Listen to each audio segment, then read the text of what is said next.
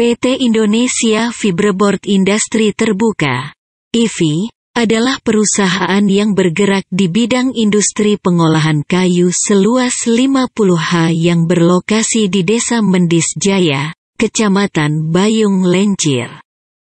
Kabupaten Musi Banyuasin, Provinsi Sumatera Selatan.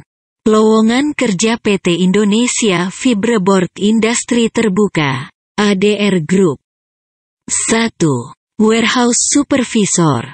2. Mekanik Heavy Equipment Foreman. 3. GA Foreman. 4. Electric Power Plant. 5. Mekanik Power Plant.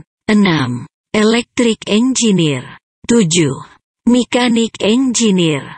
8. Process Engineer. 9. Power Plant Engineer. 10. K. Inspektor. 11. Spare Part Warehouse Staff. 12. Cerane Operator. Paling lambat, tanggal 11 Desember tahun 2021.